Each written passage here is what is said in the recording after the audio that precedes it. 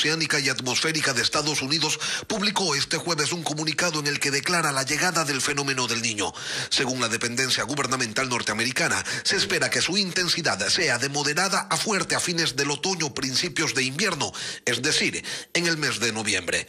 Agregan que para el invierno hay un 84% de posibilidades de que el niño tenga una fuerza mayor que moderada y un 56% de posibilidades de que se desarrolle un niño fuerte.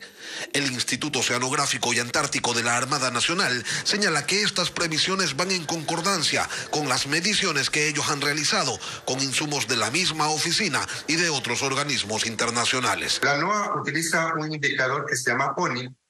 esto significa que cuando se llega a una anomalía de 0.5 durante siete meses, ahí se declara el evento. Entonces, actualmente estamos llegando a ese punto 5. Actualmente eh, el mes pasado tuvimos un promedio de 0.4, pero ya estamos llegando al punto 5. De acuerdo a los parámetros que se manejan localmente, el anuncio oficial de la llegada del fenómeno del niño está previsto que se lo haga en septiembre.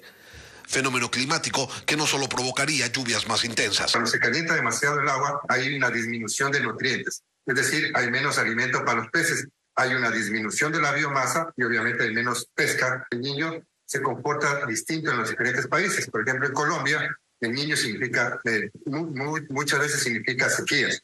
Pues, ¿qué es lo que pasaría? Que si se produce sequías en Colombia, la cantidad de lluvias que recargan a los ríos disminuiría y eso podría afectarnos también en la disminución de, la, en, las fuentes eléctricas que ellos nos proveen. Científicos de todo el mundo le han dado seguimiento al desarrollo del fenómeno del niño durante los últimos meses. La primera alerta fue emitida el pasado 13 de abril.